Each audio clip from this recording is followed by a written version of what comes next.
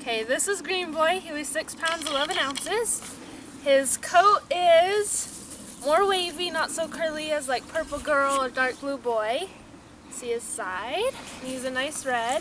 As far as markings, his two back paws are white tipped. And for his personality, he's more rambunctious. He's probably got the second highest energy out of the litter, I would say, right after White Boy. And he's just ready to play.